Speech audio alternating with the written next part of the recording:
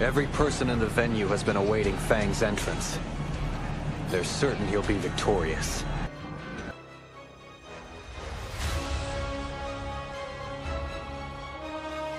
I'll give you one warning. Don't view Fang as a human. Instead, an immensely powerful calamity of violence. This tournament is a show. This isn't a place where warriors battle.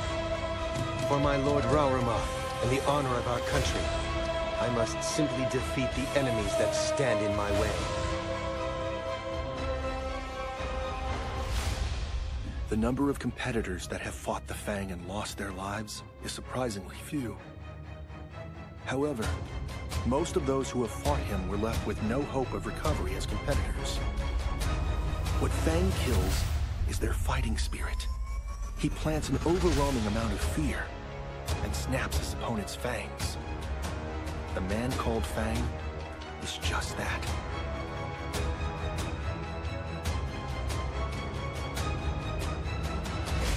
Kholan's jab is said to be the fastest among all boxers. They call it Flash, and for a good reason. He can throw up to 13 jabs in one breath. He's quite the remarkable guy.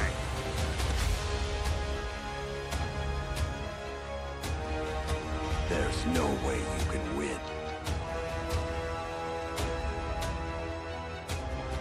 The king of the boxing world, hold on! Wong